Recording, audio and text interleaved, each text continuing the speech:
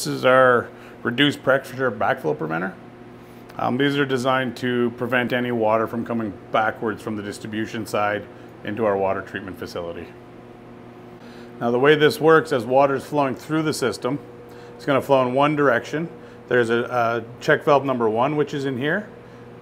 It opens up, which causes a, a pressure differential zone to equalize and it'll seal once the pressure goes through the first check valve it pushes on a diaphragm to close the secondary diaphragm and after it's closed that diaphragm it comes down to another check valve and opens it up. Now if there's ever water uh, backflow scenario water will come try to come backwards. This first check valve if it's leaking it'll change the pressure settings the pressure readings in inside the internal which will push the diaphragm open which will then leak water out the bottom.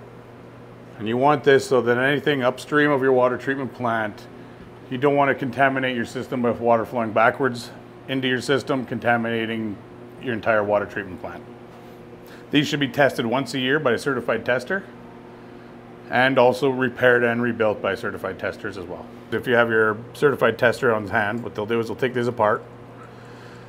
And you gotta be careful when you're taking this cap off. It is spring loaded to keep the diaphragm closed or open it's open.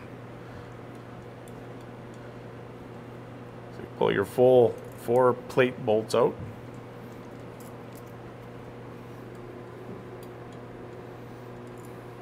And then slowly lift it up as the spring tension comes off.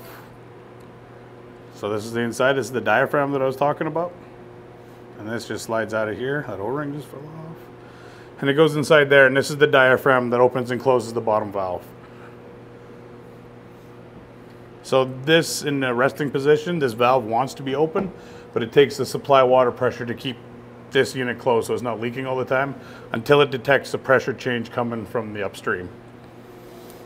So this would come out and there's our spring, our bolt. And then from here we got a spacer that keeps the two check valves from sliding in and out. And then you can see our two check valves